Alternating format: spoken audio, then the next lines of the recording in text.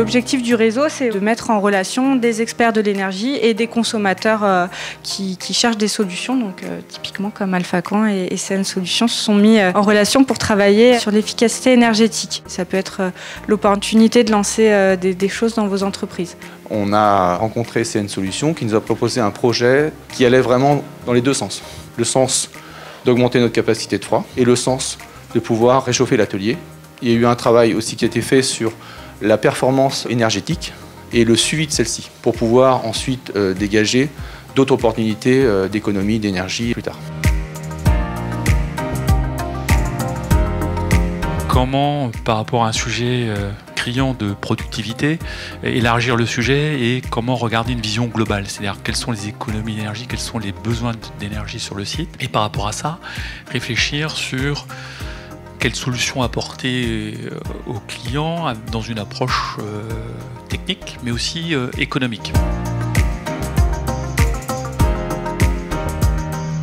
Ici, nous avons le groupe froid sur un régime capacitaire de 650 m3 par heure. Alors 650 m3 par heure, pour vous donner une idée de ce que ça donne, c'est à peu près 6 piscines olympiques remplies en 24 heures.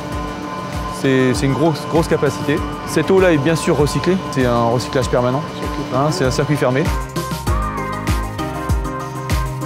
Ce projet en fait a pu être mené du fait des C2E et aussi la partie engineering de, de CN Solutions. C'est vrai que sans ces éléments-là, on aurait fait un projet avec une moins grande dimension. On aurait peut-être fait des économies d'énergie, mais pas à ce niveau-là. La spécificité de notre offre de service, c'est de combiner plusieurs hum, facteurs complémentaires.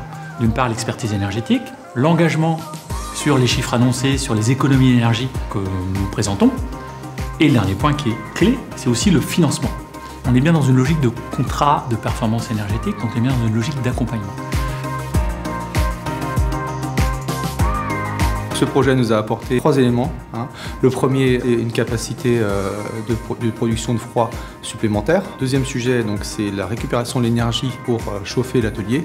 Auparavant, nous avions une chaudière qui était énergivore. Et le troisième point, c'est devenir gestionnaire de notre énergie grâce au système de supervision, euh, de vérification de toutes les consommations qu'on a.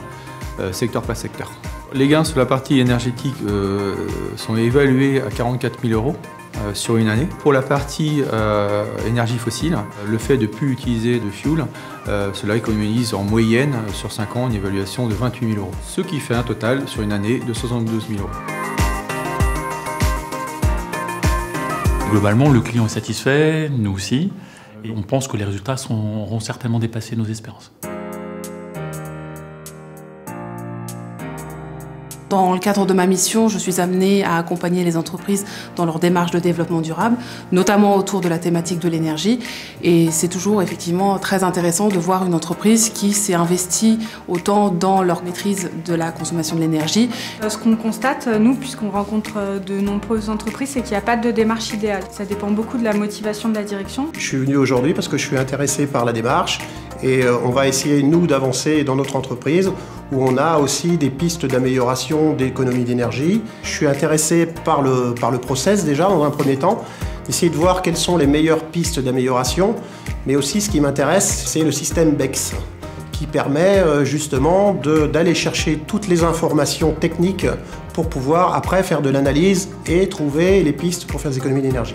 Les process sont différents, mais euh, on peut se dire, tiens, ben, on peut peut-être adapter ça chez nous, euh, notamment sur l'air comprimé. J'ai des pistes qui me viennent et on va pouvoir avancer là-dessus.